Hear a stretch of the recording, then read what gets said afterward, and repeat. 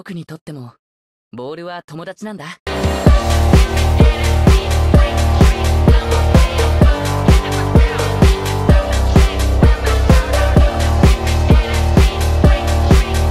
Bro, bro, sebelum masuk ke videonya nih ya guys ya, gue cuma pengen ngasih tahu ke kalian kalau misalnya kalian mau pengen cari akun uh, Subasa yang 3000 DB, 5000 DB, 8000 DB, kalian bisa langsung buka Instagram kalian, langsung ketik subasaindo.gb ya guys ya. Tapi di situ bukan cuma jual akun Subasa doang ya, tapi di situ jual akun Bontiras, ada akun Seven Deadly Sins, ada Blitz, ada Slime Isekai, ada Pokemon, ada Yu-Gi-Oh! Seven Night film Dragon Ball Legend.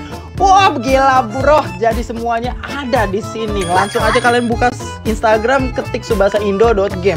Itu udah pasti harganya murah, aman dan terpercaya. Trusted para coy. Langsung aja kita masuk ke videonya. Jangan lupa buka Instagram subasaindo.game ya guys ya. Let's go!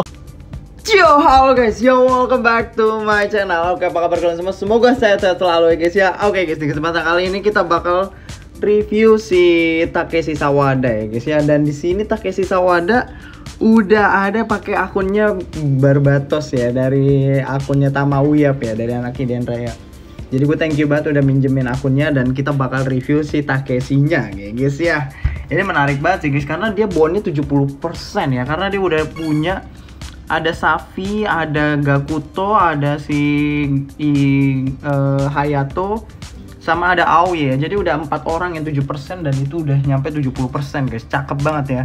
Dan kita lihat di sini untuk Sawada uh, dribblenya lumayan gede sih guys ya. 25 ribu eh apa? 17 ribu ya. Itu lumayan gede banget sih. Terus passingnya oke okay banget, tackle intercept nggak uh, dinaikin banget ya. Tapi di sini physicalnya full ya untuk speed tekniknya ini bener-bener kayak main ofensif ya kayaknya si Barbatos ini ya si Tamaoya dan untuk momentumnya gede-gede sih guys ya kalian ada swift intercept ada fast step dribble uh, untuk ininya technical cross 440 oke okay. ini udah bagus banget ya untuk ininya uh, potensial jadi kalau semakin stamina nya habis semakin kuat ya statnya ya dan di sini udah ada skill block cancel, tenacity, trust DF sama inspire FW. Jadi kalau misalnya dia kalah matchup nambahin defender ya, tapi kalau dia menang dia ngasih FW. Kenapa harus FW doang ya? Harusnya AM ya. Karena kan Japan yang OP kan AM ya. FW-nya ya begini semua, kayak cuman support doang ya. Tapi kita bakal cobain aja, oke? Okay? Di sini udah mantep banget nih timnya si Bro Tama ya. Oke, di sini udah ditemenin sama Densura kayak Densura. Jadi kita bakal cobain Takeshi-nya apakah worth it untuk menggantikan Takeshi yang jadul kemarin ya guys ya yang bisa bilang ada startup juga ngasih tenacity ya ke Misaki ya. Ini maaf ya kalau mata gue agak sipit ya, gue sebenarnya ngantuk guys. Cuman kita harus mereview ya biar teman-teman tuh tahu ada gambaran gacha atau enggak gitu loh. 70% bon ya guys. Anjir ya, keren banget ini timnya. Kalau gue kurang Safi doang sih, baru 69%. Uh, timnya mirip banget literally ya. Ini kalau misalnya si Densur punya si Gakuto mantep banget sih. Oke, kita langsung coba review aja guys ya. Kita lihat stat si Takeshi di awal-awal. Oh, wow. Gue nggak nyangka sih status segede ini sih. 80 ribu loh guys.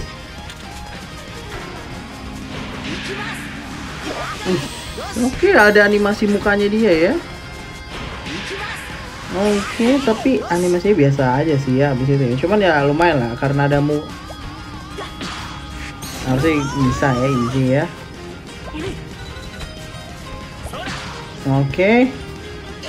Tapi high ball kayaknya kita coba shot aja lah ya karena si berutama pakainya Aoi ya.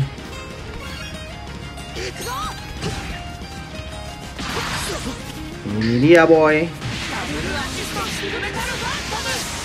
Uh, cakep sih ya. Statnya 80 ribuan guys. Udah kayak setara pemain-pemain zaman sekarang sih ya. Cuman nggak ada auto intercept dan nggak nggak support ya. Oke, terlalu easy untuk Subasa. ini kayaknya sih bakal ada counternya yang merah-merah sih guys. Gue rasa nanti bakal keluar kiper biru OP sih ya. Cuman belum saatnya belum keluar aja ya. Oke. Okay.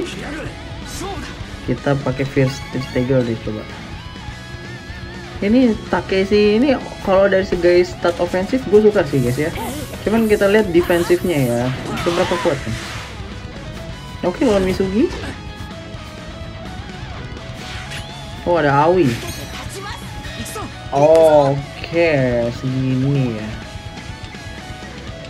agak agak kebantai sih sama Misaki ya sama si siapa namanya? Sama Misaki ya. Oke sih tapi oke sih guys ya. Nggak yang nggak yang OP tapi boleh lah gitu loh. Nah tuh ngelewatin Subasa bisa guys ini kayaknya ada Hayato deh kenapa kayak gue ngerasa gampang banget ngelewatinnya oh enggak sih ini bisa nih ada Hayato deh kayaknya cuman gue nggak ngeliat nih ah bener kan Oke, stat kita berapa sih? 83% ya? Wah, gede banget sih guys, 83% ya. Kita lihat guys, dengan tidak ada full power dan si Densor ada full power, bisa jebolin gak nih Subasa kita guys?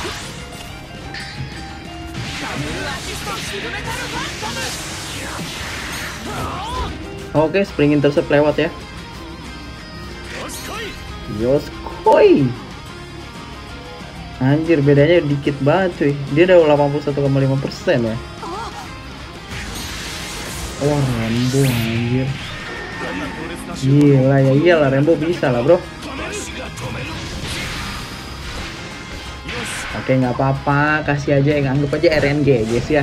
Memang lagi busuk aja. Oke Takeshi Nice tuh Densur ya.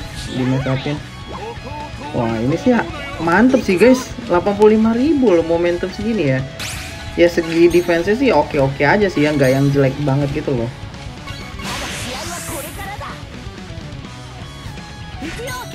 oh 100% oke guys oke ya tak sini ya. Cuman gue kurang serak aja sih kalau misalkan uh, apa namanya?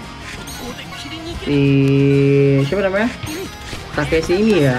Kalau buat gantiin support yang jadul sih kayaknya enggak sih guys ya. Kak, walaupun ini statnya lebih OP ya jauh guys menangan yang ini lah jelas. Cuman yang bikin gua suka sama uh, Sawada yang old ya jadi ini nih. Males nih nyari lobol nih. Nah mampus dia udah nggak ada full power. Dan dia ini juga uh, si Sawada ini yang merah jadul itu ya dia pun ngasih tenacity ke Misaki sama ke Hyuga ya. Jadi lebih enak sih dipakai. Dan auto intercept ya walaupun agak beban sih memang dari segi statnya ya. Tapi untuk si Takeshi ini bagusnya adalah dia sebagai ofensif itu lebih kuat ya lebih lebih strong lah. Jadi nggak cuman melulu ngandelin Misaki atau ngandelin si Subasa ya. Jadi kalian sekarang bisa mainin Takeshi-nya sebagai playmaker guys. Dengan momentum 500 uh, dribble ya. Gue rasa sih bakal oke okay banget sih guys buat kalian pakai ya. Ini butuh hijau ya. Padahal kalau nih masukin Igawa mantep sih kita masukinnya Igawa aja lah ya. Eh si ini aja ya. Oke okay ya nggak yang jelek. Nggak ada yang jelek sih menurut gue dari Takeshi tapi nggak yang OP ya. Mungkin kalau skor dari sekarang sih 8 sih guys ya. 8 8 untuk Takeshi-nya bisa kepake banget. Wah, tapi di sini posisinya yang kurang enaknya itu nggak ada auto intercept udah itu doang. Kalau ada auto intercept lebih enak karena bisa bisa ngoper lagi nanti ke temennya ya. Nah ini tas Sawada yang jadul ya tuh. Nggak terlalu jelek guys Sawada jadul ya. Segini statnya tapi emang harus mid sih ya. Nggak jelek. Lumayan lah. Oh gitu. Buset nih statnya jauh banget aja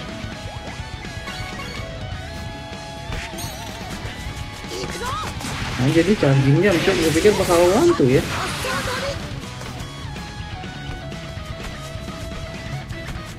Oke. Sawada status segini. Nge-tackle bisa sih guys, cuman kalau lawan Wantu sih impossible sih.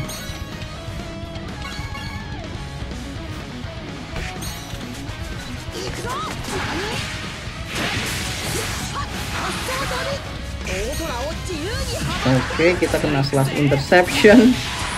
Awi Naisa. Oh. Wah, ada Gamo ya. Tiba-tiba eh ada Hay eh, Gakuto, Gaku eh iya, Hayato, Hayato, sorry sorry kok Gakuto.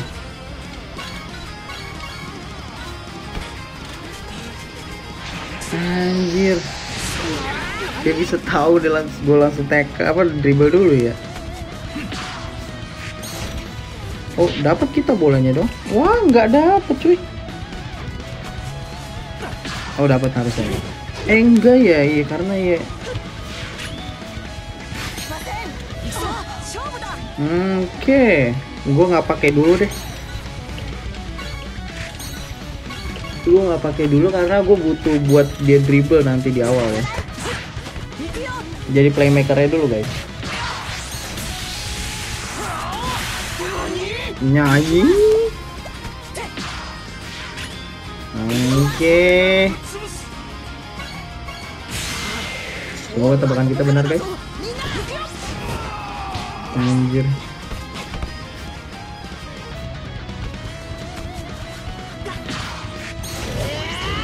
Wah, udah kena sama misal eh ini dong.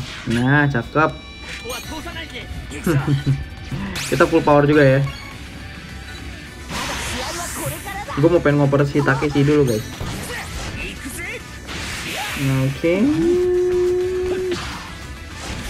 Wah, hampir kena cuy. 94.000 sama 97.000 untuk segi ofensifnya gue suka banget sih guys ini bakal jadi playmaker banget sih bakal jadi playmaker parah coy cuman the problemnya anjir masih kena dong harusnya nggak kena loh itu oke okay, waiting for opponent Hayato iya Oke, kita silent take. Oh, kayaknya nggak bisa sih. Kita harus overtake sama slash interception. Nah, emang Gakuto, eh Hayato ini OP banget sih guys. Buat lawan Japan, kita bisa tahu dia di situ ya guys ya. Nice. Eh, anjir, technical nggak tuh? Ini Pak Tama ngapain pasang technical anjir buat Roberto malah menyum, menyum bikin puyeng anjir mungkin dia antisipasi block skill ya cuman enggak gue nggak mau gue mau pengen full metal phantom sekarang guys let's to the go.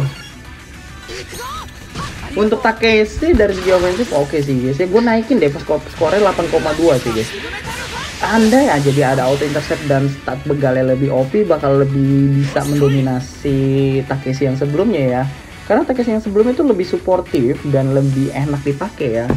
Ah, karena dia ada auto intercept dan dia ngasih tenacity ke Misaki ya cuman yang enaknya ini kalian jadi nggak nggak bergantung Misaki atau Subasa sebagai playmaker. Jadi bolanya ngalirnya dari si uh, Sawada ya. Ini back to optional masing-masing sih guys. Kalau kalian butuh startup lebih ya Takeshi Sawada yang sebelumnya lebih OP ya. Cuman kalau misalnya kalian butuh yang playmaker selain Subasa sama Misaki ini cocok banget sih guys. Karena dia ngabisin stamina statnya udah udah nambah ya jadi gimana menurut kalian untuk Takeshi yang baru? Langsung tulis di kolom komentar oke? Okay? berarti segitu untuk video kali ini. Thanks for watching and see you next video guys. Bye